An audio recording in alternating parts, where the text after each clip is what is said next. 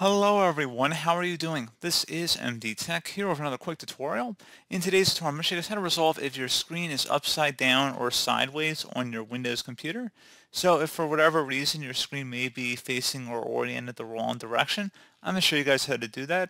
So everybody knows there's always that guy in the office that's messing around with people's monitors and sometimes they'll have it going different directions. Well, in today's tutorial, I'm going to show you guys how to hopefully fix that.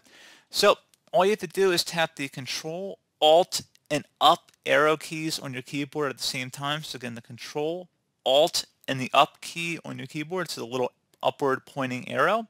So pretty straightforward, only three keys you have to push, and that'll orient your monitor back in the normal orientation. And if you're using a vertical monitor, well then you just have to use the Control Alt and then the left arrow key or right arrow key depending on how your monitor is normally oriented.